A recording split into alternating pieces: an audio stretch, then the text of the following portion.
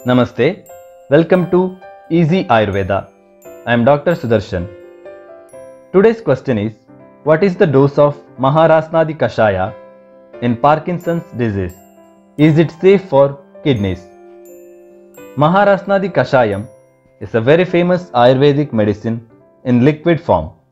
In Parkinson's disease, Maharasnadi Kashayam is useful to reduce stiffness, to reduce muscular pain, and to some extent to reduce tremors. It is also used in the treatment of hemiplegia, paraplegia, neck pain, low back pain, rheumatoid arthritis, osteoarthritis, bloating, etc.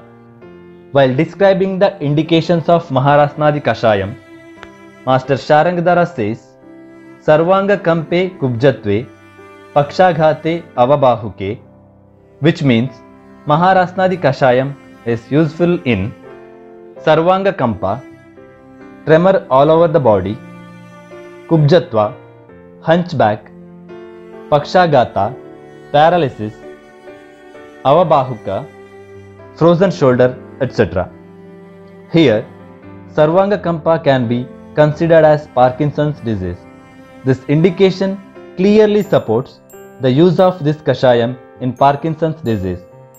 Coming to the ingredients of this kashaya, main ingredients include rasna, country mallow, castor root, calamus, malabar nut, ginger, myrobalan, Indian tinospora, Indian dill, wild asparagus, long pepper, coriander seeds, etc.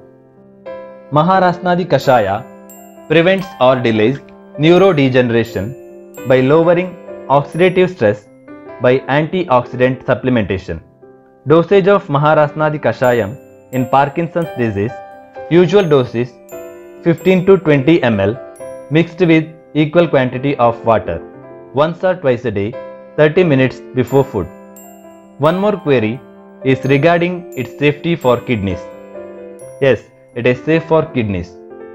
A study has been conducted to compare the antioxidant property of five Ayurvedic formulations commonly used in the management of Vata aggravated disorders. Thanks for watching.